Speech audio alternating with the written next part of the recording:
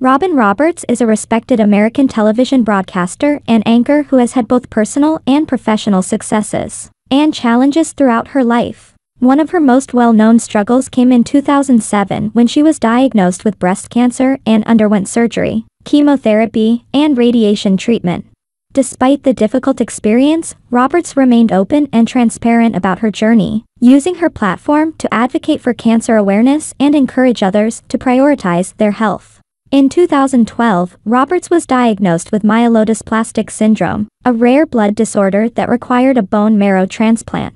She took a medical leave of absence from her role as co-anchor of Good Morning America and underwent a successful transplant in September of that year.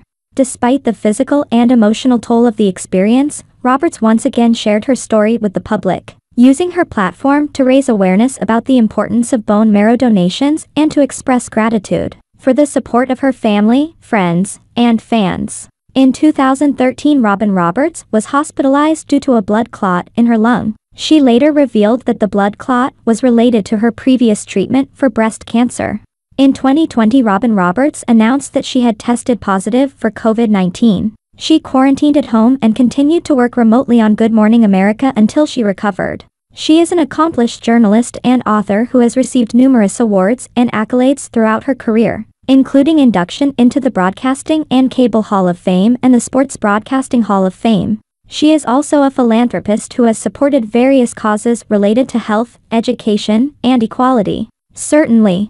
In addition to her professional accomplishments and personal challenges, Robin Roberts has also been involved in several notable moments in television history. For example, she was one of the first journalists to report on the devastation caused by Hurricane Katrina in 2005, and she famously interviewed President Barack Obama in 2012 asking him about his views on same-sex marriage which at the time was a divisive and controversial issue.